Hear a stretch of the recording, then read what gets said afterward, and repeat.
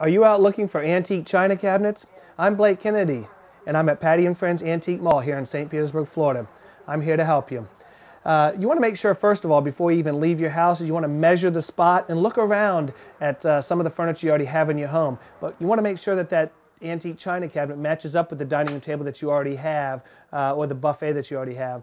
And uh, even take pictures of it before you leave and take it with you because when you're going out shopping to the antique stores and the antique malls, uh, you want to have a pretty good idea that it is going to match up because you, you know, it tends to change a little bit when you get there and a salesman tends to talk you into something.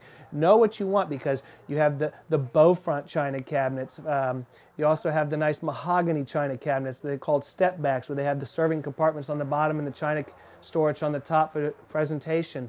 Uh, just you know, know what you're looking for when you get out because there's a lot to choose from. But if you're looking for a good antique one, uh, you, are going to spend a little bit of time because it's not like you're going to walk into the first shop and say, there it is, that's the one I want because uh, they're not making these in factories. It's antique and you might have to visit several shops in several areas to find that special antique china cabinet. When you find that special one in that shop and you say, that's the one that I want, don't hesitate about getting it because it's not like they can go out and buy another one uh, once that's sold. So make sure that you're happy with it because it's something that you're going to live with with a long time. You're going to live with it for a long time. So uh, make the deal uh, in the antique shop and be happy with your purchase when you get it home. Uh, good luck finding that china cabinet for your home. I'm Blake Kennedy.